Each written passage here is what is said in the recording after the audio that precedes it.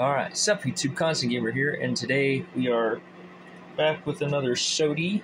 We got Coke Move. This is their new flavor they came out with.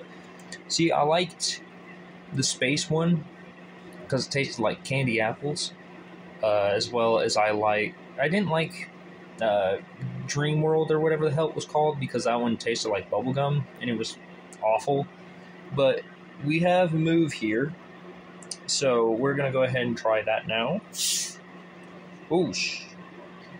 Almost almost bubbled up there. A little spicy, huh? Probably too spicy.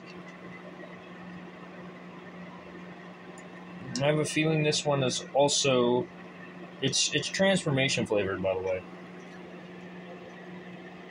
If it'll focus. Tra- transformation flavored whatever the hell that means. So we're just gonna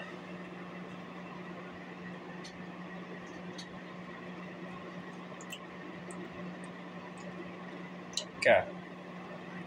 I'm gonna be dead honest. This is the exact same flavor as space. No joke. This this is just space flavored. It is it is to a T the exact same flavor. So I'm disappointed, but I'm also glad because I did like this flavor. so seems like seems fair. So I'd say if you like the space flavored one and you haven't tried Move yet, I'd say pick it up. Uh, same flavor. So, all right, alrighty.